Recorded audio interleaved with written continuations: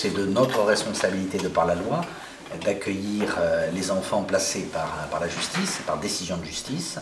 Donc nous avions un foyer à Versailles, un foyer au PEC qui était vieillissant, pour ne pas dire plus, euh, très mal adapté, euh, qui coûtait donc fort cher à l'entretien, puis qui était aussi très inaccessible pour les familles. D'où cette idée, il y a 11 ans, euh, j'étais alors maire de Mantes-la-Jolie. Franck Borotra était le président du conseil, euh, on disait général à l'époque.